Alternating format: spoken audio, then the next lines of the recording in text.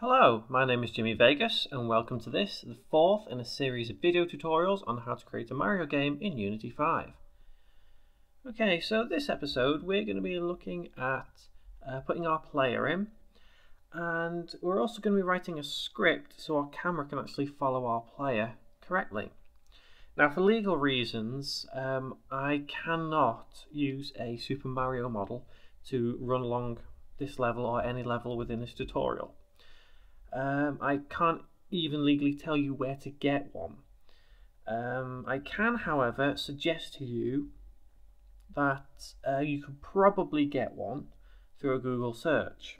So if you want to use a Super Mario uh, model, that's entirely up to you. But as I say, for legal reasons, I can't.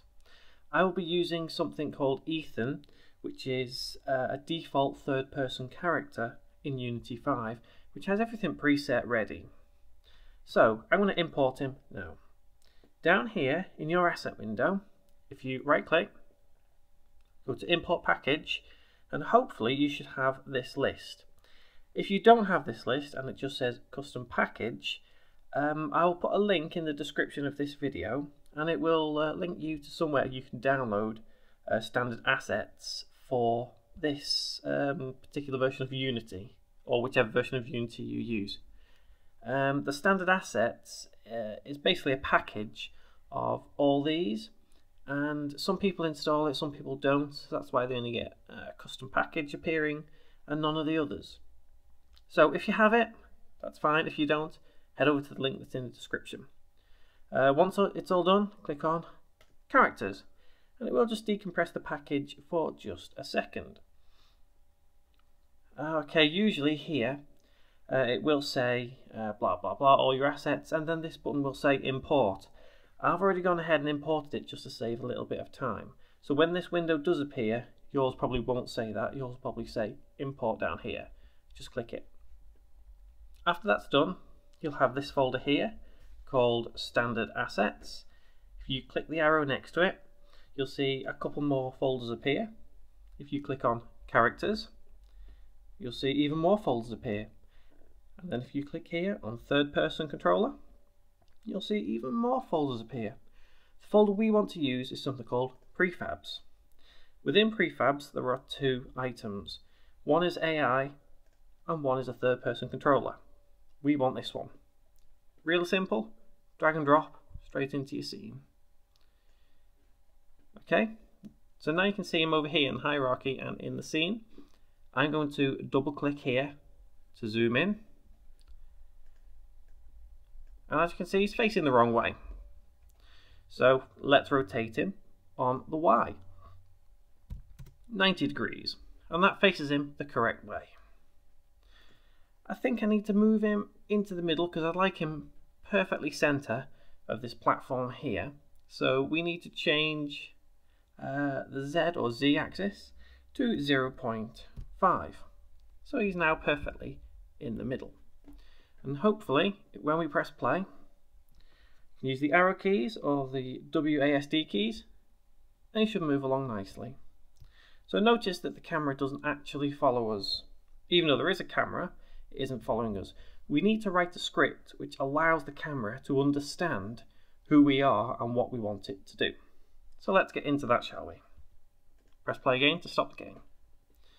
So I'm going to come out of all these folders now, click this top arrow on standard assets.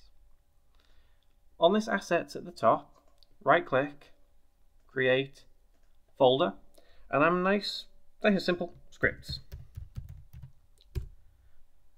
And let's head into that folder. So every script we write, I would like to store within this folder here. It just keeps everything neat and tidy. So right click, create, and go with JavaScript. It's nice and easy. We may use C Sharp script later on just to kind of prove Unity can handle uh, more than one language at any one time. It is quite useful sometimes. I'm simply going to call this script camera follow.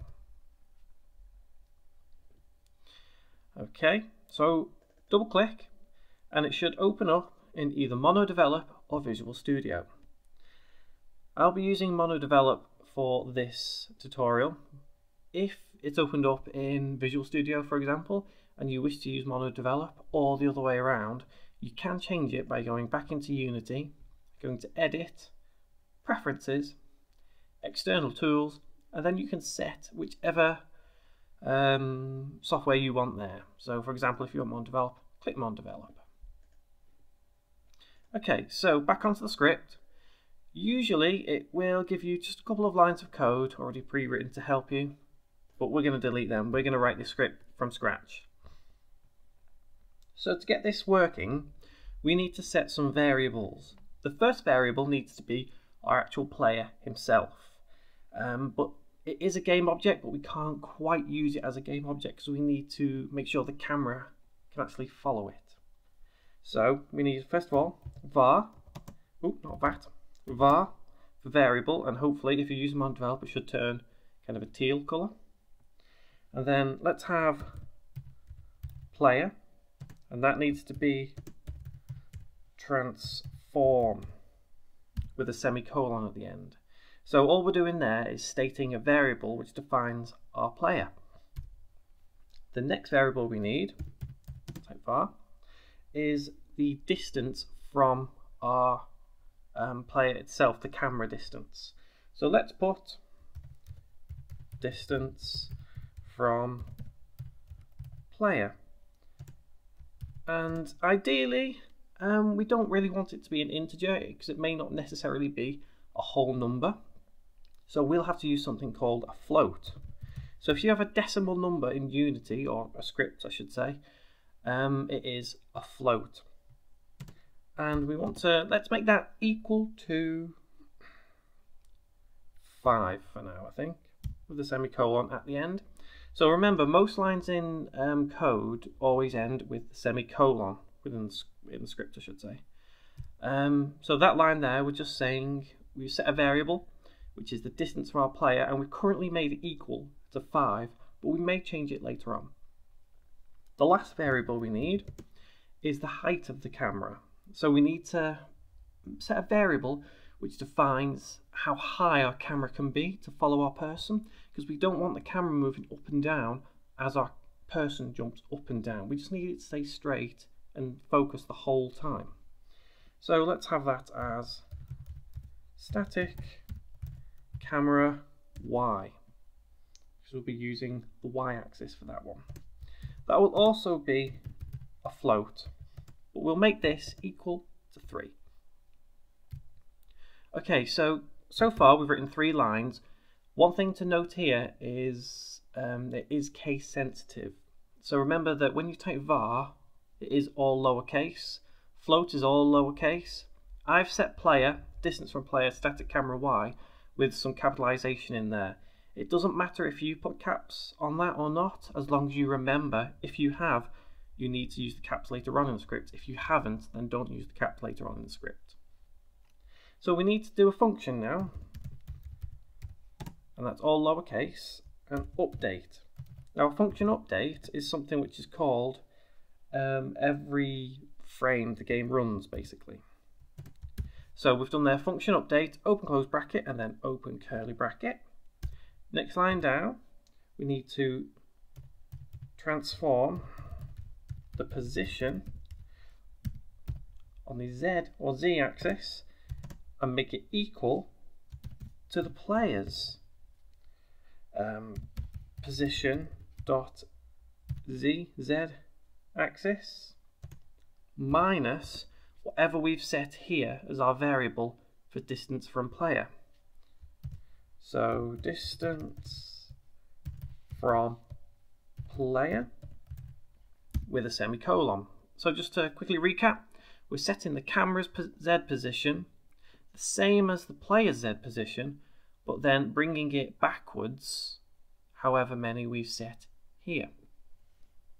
So we also need to transform the position on the x-axis and we need to make this equal exactly to the player dot position x. We don't need to take anything else away from that, we just need to make it identical. And close curly bracket. We also need a second function, which is late update.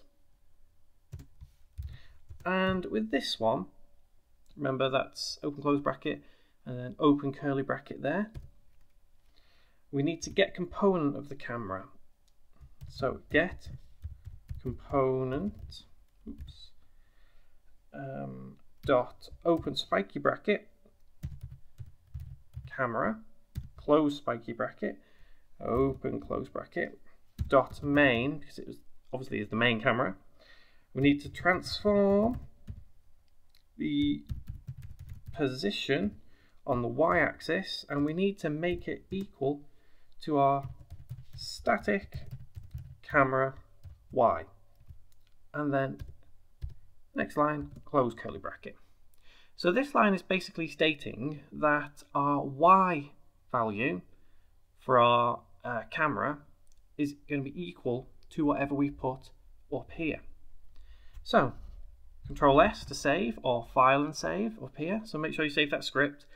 If you have problems with the script, you can get it for free on our website. If you head over there, um, the script will be there and you can just copy paste it into here and it should be working no problems. So once this script is done, we need to drag and drop onto our main camera up here and then click on your main camera and you'll notice that we set the three variables and they are here. The player the distance from player and the static camera y. And remember we set it as 5 and 3 so here you've noticed player box is a bit different and it has non-transform we need to set our actual player object in this box. So real simple, head over to your third person controller, drag and drop it here, and you'll see changes. Now hopefully when we press play now, the camera should focus on our player, and it does. So as we move our player along, you can see everything looks just fine. And hopefully when we jump, the camera doesn't change up or down. So that is exactly what we want. So if you want to play around with your camera a little more, whether you've got the rotation on, whether you've got anything, so let's say the rotation is, let's put the rotation as 15 on the X, so it kind of looks down a little more. Distance from player, let's put that as 6 and let's press play again.